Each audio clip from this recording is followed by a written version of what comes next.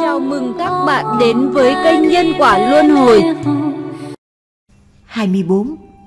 Sáng lập trường học miễn phí Tạo dựng cơ sở giáo dục là một trong ba chí nguyện của Hòa Thượng. Lúc 18 tuổi, Hòa Thượng sớm đã sáng lập trường nghĩa vụ, một mình Ngài dạy hơn 30 em học trò nghèo nàn. Hiện chùa chúng ta có trường học với các lớp bậc đều giữ chế độ dạy học thiện nguyện, hầu thừa kế tinh thần giáo dục của Hòa Thượng. Hòa Thượng kể, tôi 15 tuổi mới bắt đầu đi học. Vì cảm thấy lúc nhỏ thất học, không nhận được sự giáo dục, nên cũng là điều tôi hối tiếc trong đời này. Tuy tôi không học nhiều, nhưng tôi rất nhiệt tâm với sự giáo dục.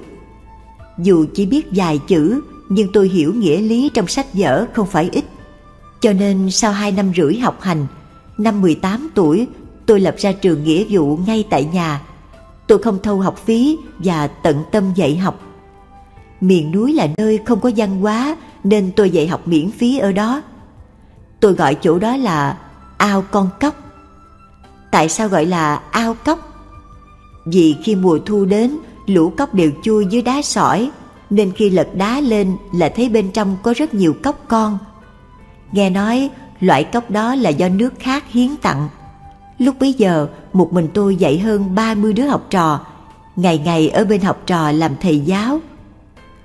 Tại sao tôi muốn làm thầy giáo lại không thâu tiền? Phải chăng vì làm nghề gõ đầu trẻ này rất quan vinh? Cũng không phải. Bởi vì tôi khó khăn lắm mới được đi học, nên tôi rất thông cảm với người không có cơ hội đến trường. Lúc bấy giờ, ngành giáo dục ở Trung Quốc không được phổ cập, nạn mù chữ rất nhiều. Tôi rất hy vọng cho tất cả thanh thiếu niên Trung Quốc lúc nhỏ tuổi đều có cơ hội đến lớp học, hầu có trình độ học thức tương ưng. Cho nên tôi thành lập một trường tại gia miễn phí, mỗi ngày tự nguyện dạy cho bọn thanh niên mù chữ đó. Tôi thường nghĩ, thế giới này sao lại bại hoại thế? Đó là do chữ tiền mà ra. Tiền chi phối các ngành nghề điên điên đảo đảo.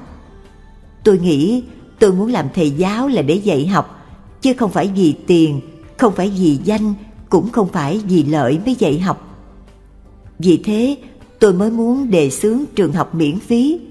Bởi tôi không có tiền đi học, nên nghĩ tưởng đến các trẻ em nghèo khổ đồng cảnh ngộ như tôi mà lập nên trường học không thâu học phí, cũng như không thâu bất cứ sở phí nào khác. Tôi còn chuẩn bị sẵn sách vở, giấy, bút, mực cho học trò, để chúng khỏi vì không có tiền mà không đi học được. Tôi nói cho các vị nghe, từ lúc sanh ra đến nay, làm bất cứ việc gì tôi cũng không muốn tiền thù lao. Như vậy mới làm lợi ích lớn lao cho người. Tất cả đều tận sức làm nghĩa vụ, thậm chí đến cứu sanh mạng người khác. Tôi đúng thật ngu si, cho nên tôi dạy các vị cũng là dạy cái tư tưởng ngu si này.